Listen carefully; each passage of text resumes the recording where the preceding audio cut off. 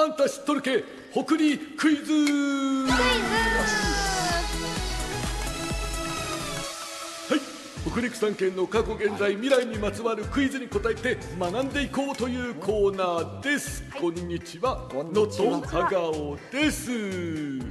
どうも久美さん。こんにちは。この間初釜に参加したんだっておお、そうそうそうなんです。なんか感じたことはあったかな？えー、今日なんかそれに関するクイズですか？違いますよ。な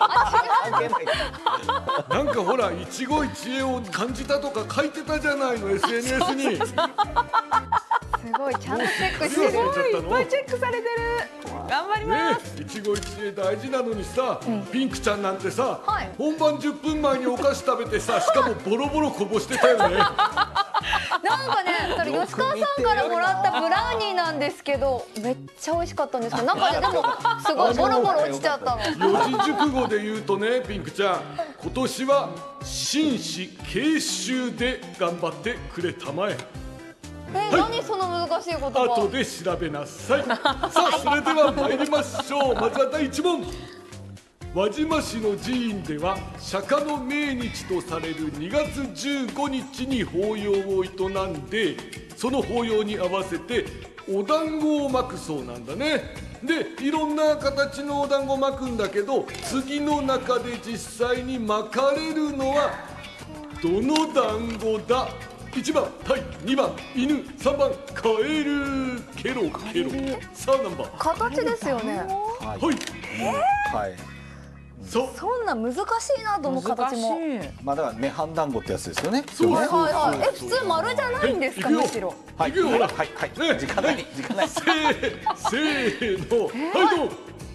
わかりま三番分かれた。二番。一番。分かれたね久美さんはカエル？なんで？当てずっぽうです。当てずっぽなの。はい。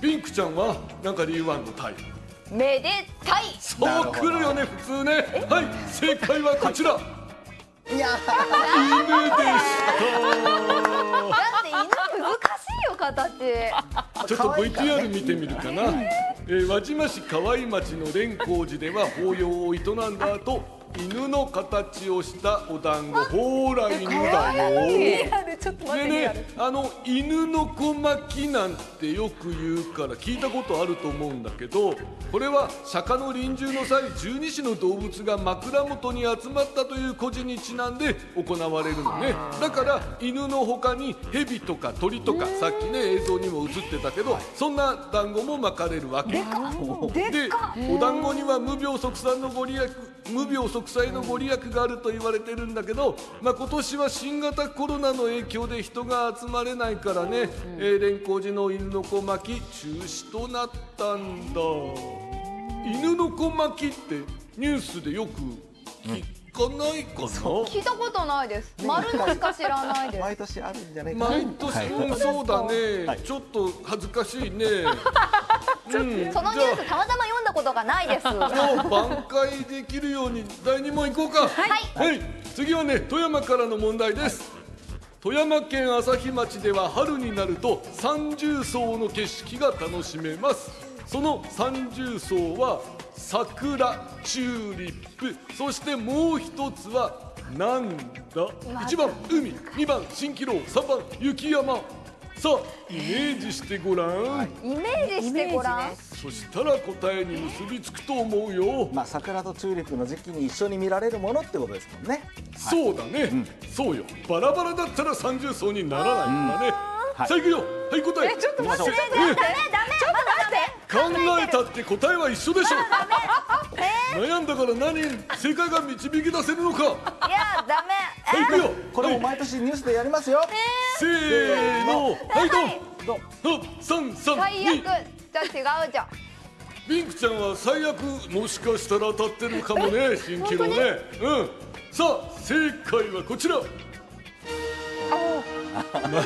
新キロなんて答え自体がますよ新キロ幻みたいなもんだね、えーさあこれも綺麗な映像見てみよう。はい富山県の朝日町の船川沿いでは春になるとおよそ1キロにわたってソメイヨシノが満開を迎えるのね。でこれだけでも綺麗なんだけどさらに観光客を呼び込もうと地元のチューリップ農家がおよそ10年前から桜の時期に咲くようにチューリップを植え始めたんだね、えーこのためご覧のように雪山を加えた三重奏の絶景が楽しめるようになったわけちなみにね菜の花がこれに加わると四重奏の景色となるわけなんだね。ぜひ見に行ってちょうだい、さあじゃあさねえーおめえ返上でさピンクちゃん。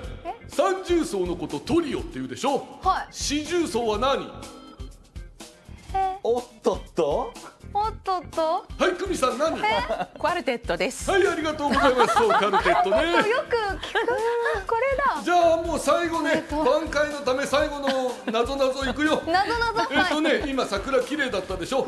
桜柄の衣装を着たイケメンが歩いてたんだって有名な人だよ。誰だ？あ桜柄の衣装を着たイケメン。ピンと桜こない？さくあーダメだねこれ。ダメです。桜柄の衣装。桜衣装。桜衣装ってんだよ。桜衣装大じゃあまたね。遠山の金さんしか思い浮かばなかった本当に。はい